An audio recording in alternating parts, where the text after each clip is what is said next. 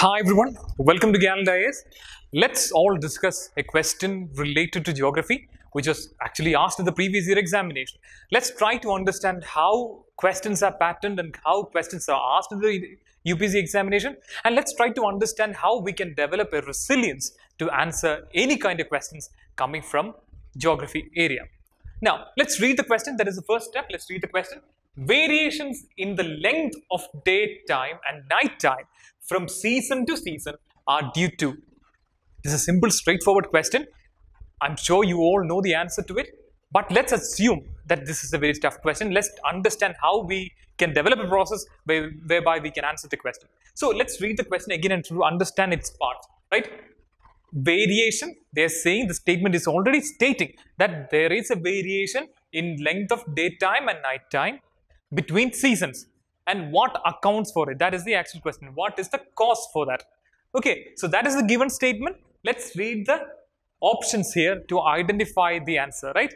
So anyway, of all the four given here, A, B, C and D, only one can be the right answer. So our choice would be, would have to be the right choice. Now, let's try to eliminate what we don't know.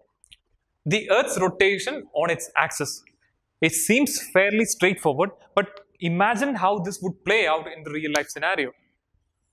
Earth's rotation, it is not specifying how it is, how the Earth would be moving. If it is standing still right like this, if it is standing perpendicular to the plane like this, every point on the Earth would receive the same amount of sunlight, sunlight, and it would receive the same amount of daytime also. So A cannot be the answer. Okay. Now B, the Earth's revolution around the Sun in an elliptical manner. Let's keep that aside to consider it later. Let's move on to see latitudinal position of the place. Now, what is latitudes? Imaginary lines going up and down from the point of equator. This would be 0 degree latitude and whatever above is 5, 10, 20 north latitude and coming down is 5, 10, 20, 30, 40, 90 south latitude. So, any point on the axis, any point on the latitude, it is saying latitudinal position of the place determines the day and length and time of change of variation. That is a plausible conclusion considering that sun's apparent motion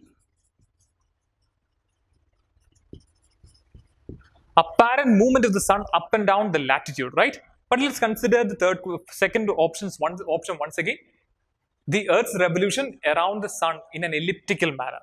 That is also see all the options seems to be correct.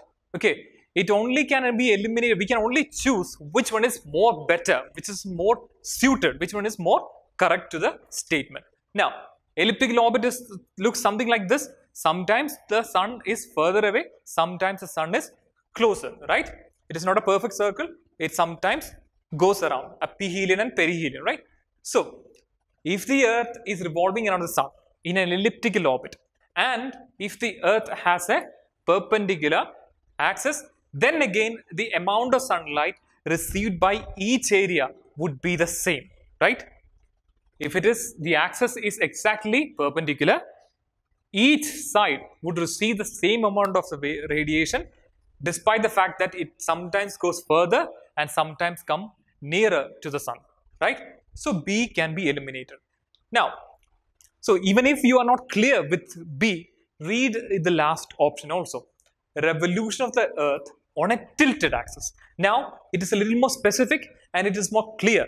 Now it is more possible and plausible right? Revolution that is true. It is revolving around the sun and we know that revolution and the movement of earth through space creates this variation in in seasons. So revolution first part is correct on a tilted axis. Now that makes the option very interesting. The axis of the earth is tilted.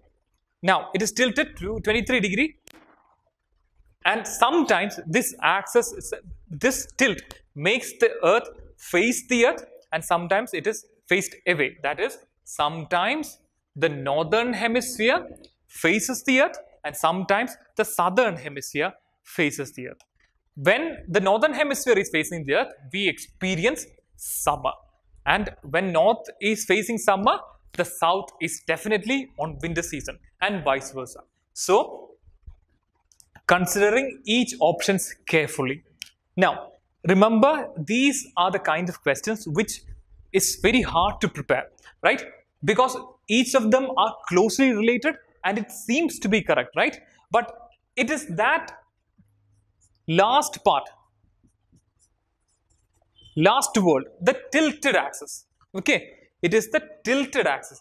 B is almost almost close, right? B comes almost close.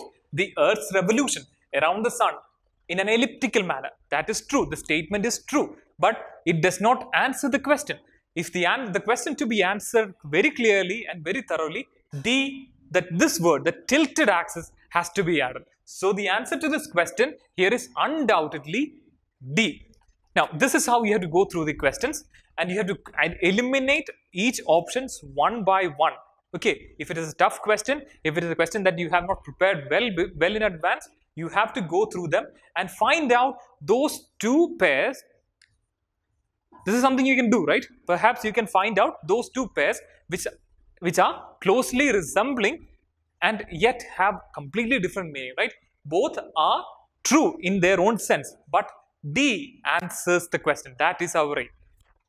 Whether you think the statement, any statement is right or wrong is beyond the point. The point is whether it answers the question. And if it answers the question, you are lucky, you get the mark, right? So the answer to this question here is D. Thanks for watching.